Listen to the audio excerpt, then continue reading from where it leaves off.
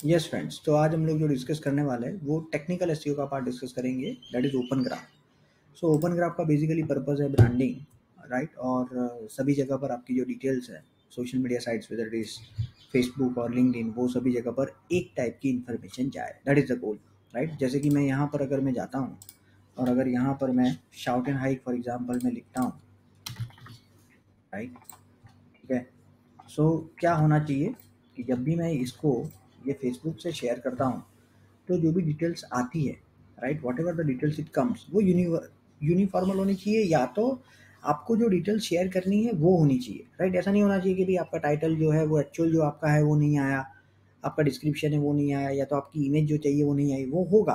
कब होगा? अगर आपने ओजी कोड को प्रॉपरली डिफाइन नहीं किया है तो राइट तो उसका मेन पर्पज़ ये है ओपन ग्राफ का, कि जब भी आपकी लिंक कोई भी इंटरनेट पर शेयर कर रहा है आपकी कंपनी की तो वो यूनिवर यूनिवर्सल होनी चाहिए कि यही टाइटल आए, यही इमेज आए, यही डिस्क्रिप्शन आए तो वो सब कुछ सेम करने के लिए नॉर्मली ओजी कोड को यूज़ किया जाता है, ठीक है?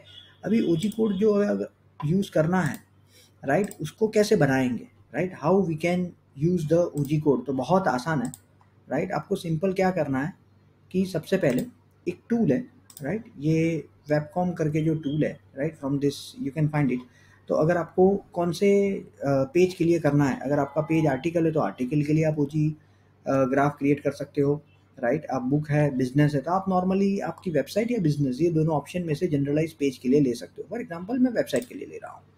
तो ये वेबसाइट हो गया। यहाँ से आप इसको ऐड करो। ठीक है? यहाँ पर आप, ठीक है? यहाँ पर आप क्या करो? टाइटल तो जो आपकी वेबसाइट है, उसका जो टाइटल है right whatever the title you would like to display right suppose मुझे ये टाइटल को डिस्प्ले करना है तो मुझे ये मैं यहाँ से इसको ले लूँ, ले लेता हूँ। यहाँ पर इसको पेस्ट करता हूँ।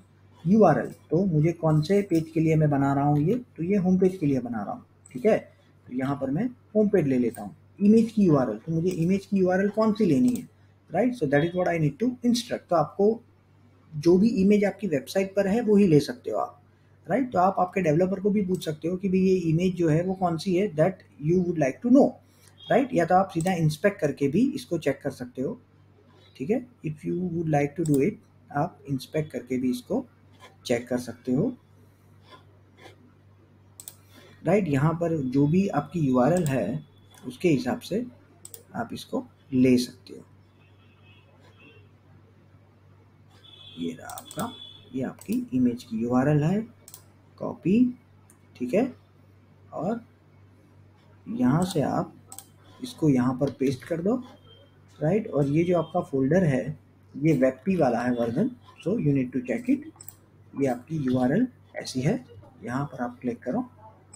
ये आपकी इमेज है। आपको ऑब्वियसली अच्छी इमेज लेनी है राइट बट अभी मैं आपको रेफरेंस के लिए ये बता रहा हूँ, ठीक है?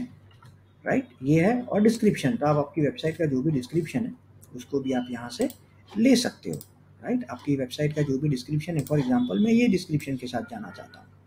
तो यहाँ से मैंने ले लिया और यहाँ पर आप इसको ऐड कर दो और ये जो आपका कोड है वो रेडी हो गया, ठीक है? इसको आपको कहाँ पर रखना है? वेबसाइट के हेड सेक्शन में, यहाँ पर, ठीक है?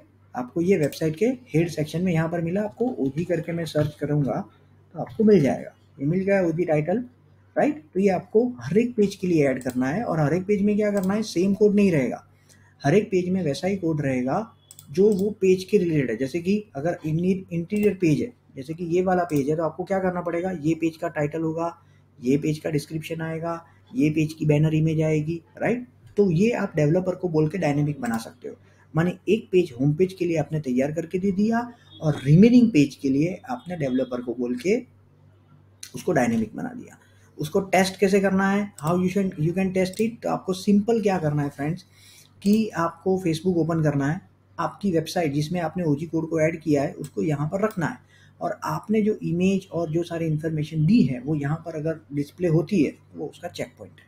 आई होप आपको ये वीडियो पसंद आया होगा, आपको नई जानकारी मिली होगी। अगर आपको और भी ऐसी चीज़ों को जानना है तो you can register for the free webinar and you will find the link from the description below. Okay. Thank you. Take care